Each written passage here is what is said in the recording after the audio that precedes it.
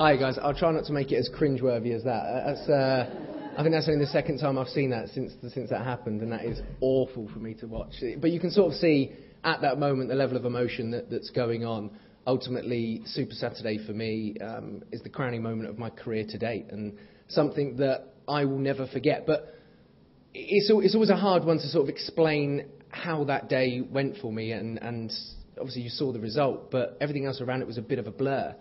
For me, I always have to look back over the year that, that led to that moment because ultimately you all see the accolades, you all see the, the, the good performances I had on that day, but I'd just come off of, of sort of six months, and, uh, well, six months of good performance, six months of horrific bad injuries and luck, which you wouldn't wish upon your worst enemy in, in sport, I don't think. Now, 2011 probably could have been a bit of a year like that for me. We had a World Championships down in Daegu, and, and I travelled out there in fantastic shape, feeling amazing, probably jumping better than I'd ever jumped before. But sadly, I, I go into a qualification. There's a technical fault with a, uh, the, the, the pit that's being raked by some strange mechanical thing.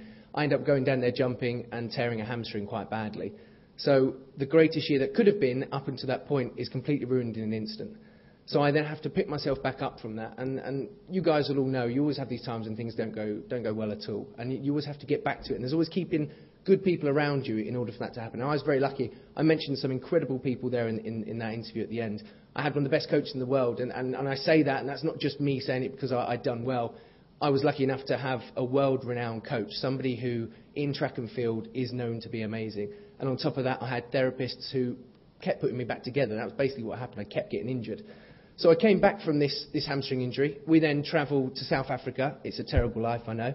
Um, we hang out in South Africa for about a month training because we, we, we, go there for the sun. Track and field is, is a summer sport, really. So we always like to be in the sun. And, and with my complexion, you'd think that I'd probably want to hide under a rock. But um, I actually do love the sun. And I'm very lucky that I can get a bit of a ginger tan, uh, albeit that some of the freckles connecting together. But uh, that's not particularly important. But um, no, we're, we're, out in South Africa and I'm having a, an absolutely fantastic training camp again. I'm getting into that shape that I was in the previous year. And I'm sort of starting to think now, great, I'm going to have an opportunity to show everybody that I can jump far, I can beat the best, and I'm going to have a fantastic indoor season.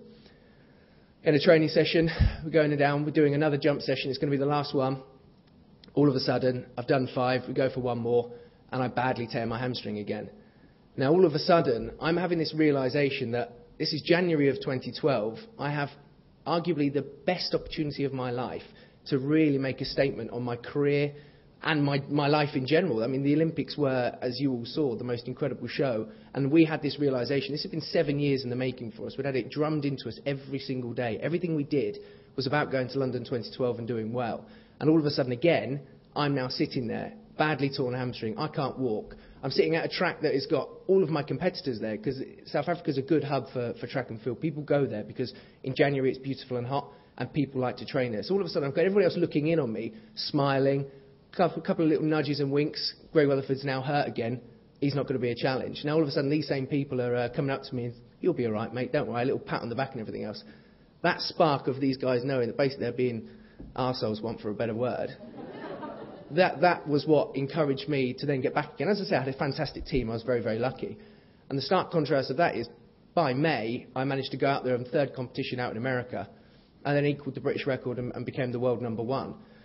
And that then was the catalyst for the rest of the season for me. Now, I'd had so many things go wrong, so many. It's, it's unbelievable. If you look at the history, I mean, I, I had two minor medals before that at the Commonwealth Games Europeans. Every other year, pretty much, some form of major injury would come in and ruin that for me. And it, it was heartrending. Every single time I thought I was going to do well, it would all go wrong. Now, all of a sudden, we're getting into the season of 2012, and I go to a Diamond League in Rome, and I, I, I come from, from being knocked into third place in final round to then winning that and jumping the second longest jump of my life. And things are starting to come together. Now, things are building up in a way that always for me something has to go wrong. And a month before, we go to Madrid for a competition which is known for being fantastic for long jump. Some of the guys who were, who were in that Olympic final had been to, to that exact competition years before and jumped incredibly well.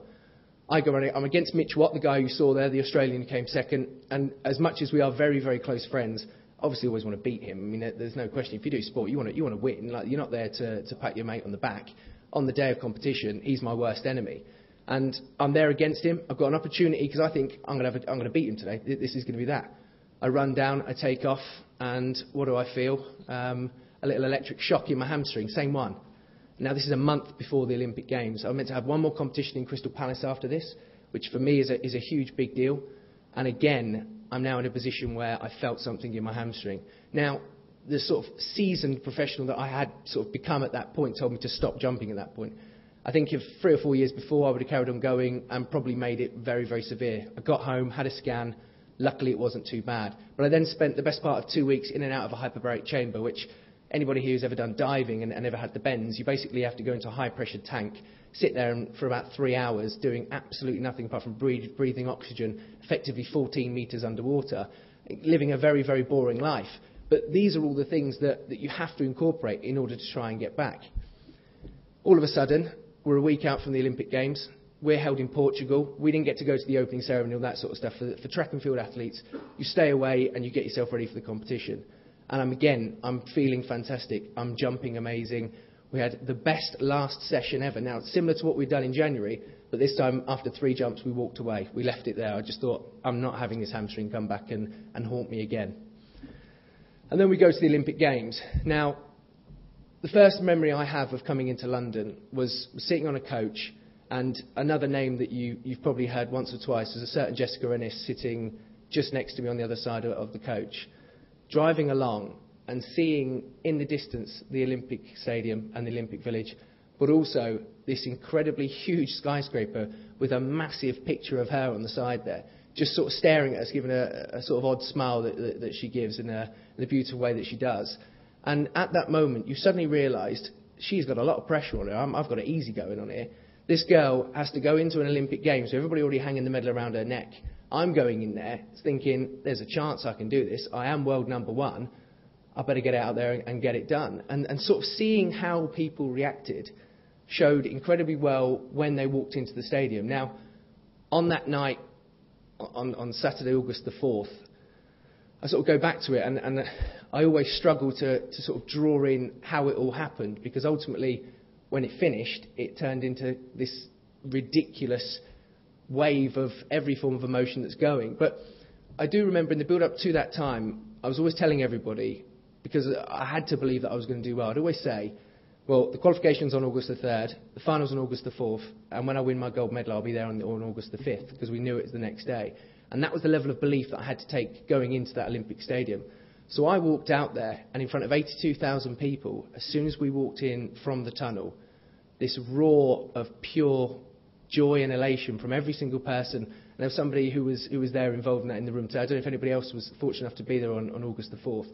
But this sudden roar and pride and everything else that, that everybody who was there passed on to us was absolutely out of this world. And I, I genuinely can't put towards that level of emotion initially. And it, and it actually brought a slight tear to my eye. And, I, and I'm suddenly walking into Olympic Stadium welling up a little bit, thinking, I haven't even started competing yet, and I'm already starting to cry. I need to go and win the blooming medal first before I start doing that.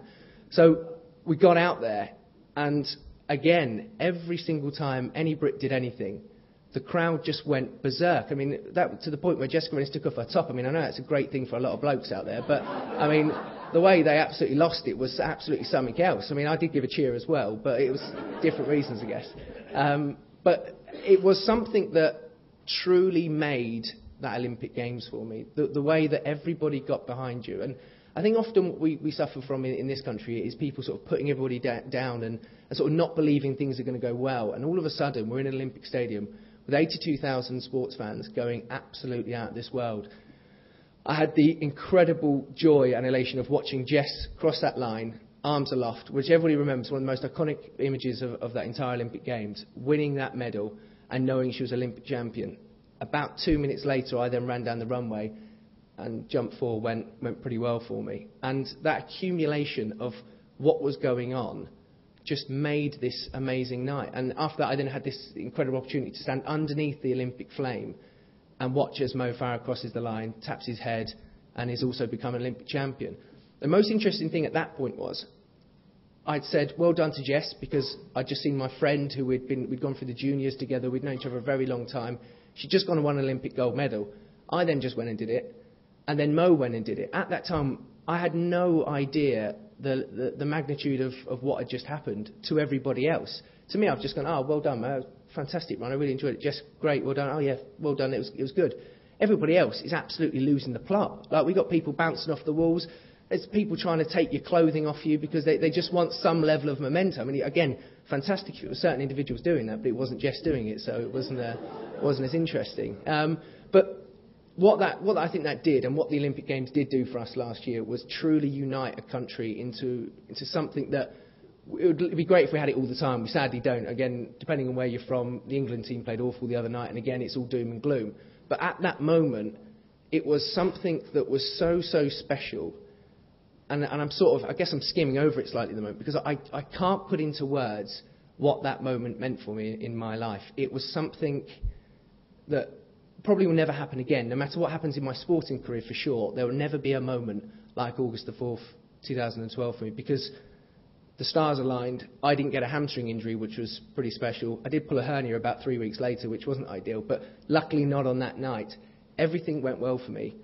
I didn't know whether to laugh, cry, run around, take the clothes off a bit prematurely. You, you didn't really know what to do at that moment. And, and that was that relief factor which comes with finally doing well. Finally, everything had gone right for me. After so many years of everything going wrong, I was there and I finally got crowned as, as an Olympic champion. And as I say, nothing will ever be like that again, I think, in my life, even if I go to Rio and win there. And that is the aim. I'll be going on to Rio and, and looking to, to do a repeat performance. But August the 4th, what, thank you.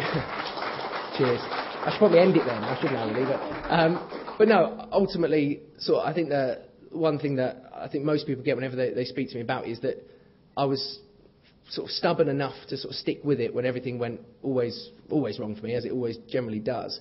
And I was lucky on the biggest stage, the biggest moment of my life, it all went well. And because of that, I get the, the luxury of coming to, to speak to, to the likes of you guys today, which I, I am very thankful for. And hopefully, in a few years' time, we'll go on to Rio and uh, I'll be able to come back and, and have two gold medals. But I do actually have it with me as well by request.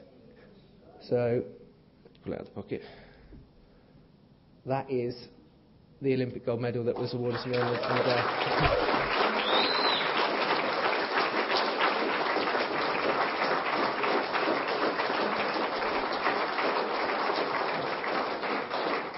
Thank you. So it's a strange. It's like sort of being reunited with an old friend because I just put her in a bag and then throw her in the cabinet most of the time. Sort of try not to associate myself with it too much. And then you pull it out and realise, and it just gives you that moment again. So I just had that moment again, which is quite nice. Um, but yeah, so I, again, that's, that sort of shows how it can go for somebody, and I think that can work in any, any walk of life and, and any person, genuinely. Just a random ginger kid from, from Bletchley that was always told it was never going to happen, and 2012 it happened. So uh, I'm pretty thankful for that, and I think that's sort of something that can reflect on absolutely everybody.